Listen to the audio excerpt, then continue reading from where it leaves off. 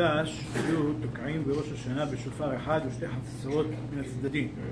השופר מעריך והחצוצרות מקצרות, שמצוות היום בשופר. ולמה תוקעים עמו בחצוצרות? משום שנאמר, בחצוצרות וכל שופר הריעו לפני המלך השם. אבל בשאר מקומות אין תוקעים בראש השנה, אלא בשופר בלבד. תמיד היו משתמשים גם בשופר וגם בחצוצרות. בתעניות שהיו גוזרים מעקות צרה שלא תבוא, היו מרעים בחצוצרות וגם בשופר. שמה השופר מקצר והחצוצרות מאריכות שמצוות היום בחצוצרות, שנאמר על הצער הצורר אתכם והרעותם בחצוצרות. אז תמיד כשיש צרה צריך להריע בחצוצרות.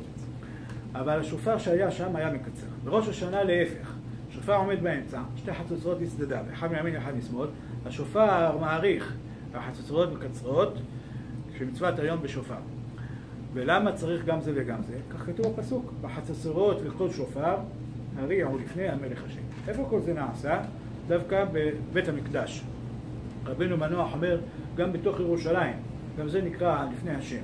שם בפסוק כתוב לפני השם, איפה זה לפני השם? בית המקדש.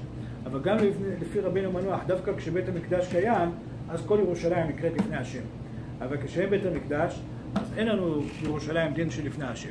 לכן בזמן הזה, בכל מקום, תוקעים בשופר בלבד. גם בזמן שבית המקדש היה קיים, כל הדין הזה, או בבית המקדש או בירושלים, אבל בכל שאר המקומות בעולם, תוקעים בשופר בלבד. אז אם כן, בזמן הזה שלנו בבית המקדש נשאר לנו דין השופר בפני עצמו. נקרא עוד שורה אחת. שופר של עבודה זרה, אין תוקעים בו לכתחילה. ואם תקע בו, יצא. ושל עיר הנידחת, אם תקע בו, לא יצא. שופר של עבודה זרה, לפעמים הגויים יש להם, בבית העבודה זרה שלהם שופרות גם כן. הם תוקעים לכבוד העבודה זרה שלהם. זה נקרא משמשי עבודה זרה. לכתחילה לא יתקע בו. למה? מה זה כבוד השם שלוקח שופר שהוא משמשי עבודה זרה כדי לקיים בו מצווה? אבל בדיעבד, אם תקע בו, יצא ידי חובה. אבל אם לקח שופר ש... של עיר הנידחת, עיר הנידחת, כולה, מה הדין שלה?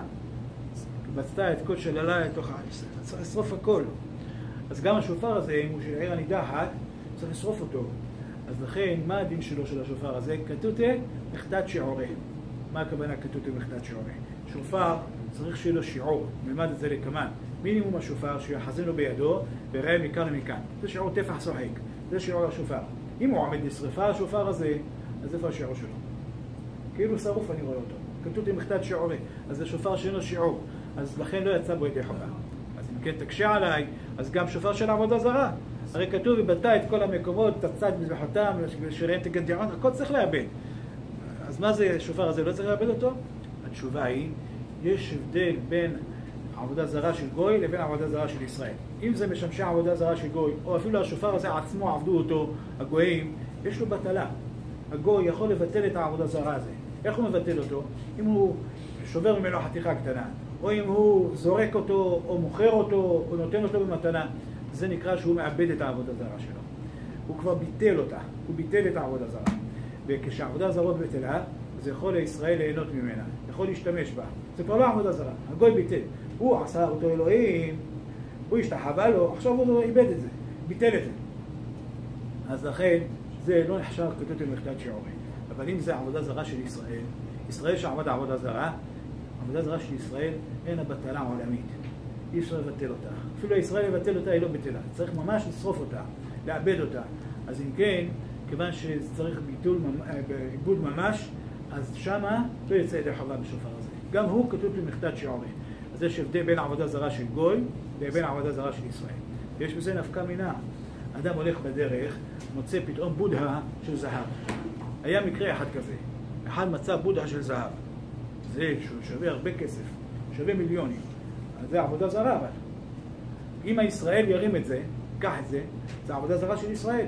עבודה זרה של ישראל אינה בטלה עולמית. מה יעשה ישראל אם יהיה חכם?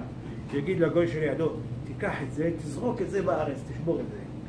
הגוי ייקח את הבודהה, ישבור אותו בארץ, הוא ביטל אותו. את העבודה זרה של גוי, הוא ביטל אותו. עכשיו אתה תיקח אותו, מותר לך לקחת את הזהב הזה, למכור אותו, להשתמש בו, מה שצריך. למה? עבודה זרה של גוי, יש לה ביטול. אבל אם הישראל קדם וזכה בזה, זה עבודה זרה של ישראל. עבודה זרה של ישראל אין לה בטלה עולמית. עכשיו כבר אסורה בהנאה לעולם, אין דרך של היתר. אז לכן החוכמה שהגוי יבטל אותה לפני שתבוא לידי הישראל, ואז יוכל הישראל, אחרי שהגוי ביטל, אין לדין של עבודה זרה, הדבר הזה מותר בהנאה. ברוך ה' לעולם, אמן ואמן.